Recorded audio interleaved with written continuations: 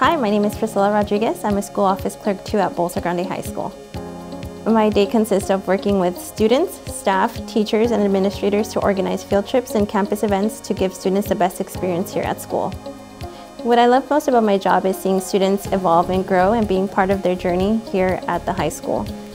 A reason I would encourage others to apply for the district is because there is a lot of opportunity for growth there is a lot of diversity and a lot of wonderful people to work with here at the district.